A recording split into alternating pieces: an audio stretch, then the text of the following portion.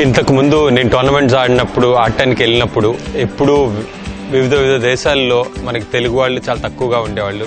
So ఇలాంటి నేపథ్యంలో తానా మన తెలుగువారి ఆకాంక్షలు ఉంటాయో ఏవైతే వాళ్ళ కమ్యూనిటీ బిల్డింగ్ కోసం అమెరికాలో చేసుకోవటం అనేది చాలా సంతోషం. ఎల్లలు లేని తెలుగు ఎప్పటికీ వెలుగు.